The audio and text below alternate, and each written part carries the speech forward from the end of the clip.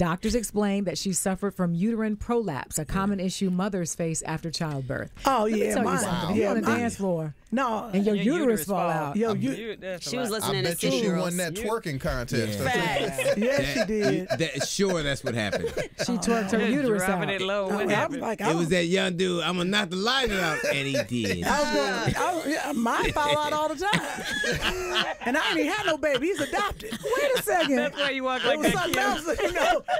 Something else happened. Kym, let me find out your uterus is constantly falling out. Oh yeah, I got a little purse I carried in. Scoop it. I scoop it up. I rinse it in the sink. You know how we rinse it in the sink? I literally rinse mine. I really rinse Girl, mine. listen. Put it in the sink, put it back in the little purse, take it with me when I need it. Who need a uterus all the time? Oh, so, when it's not being used, it's used, I in the keep it in the I purse. you.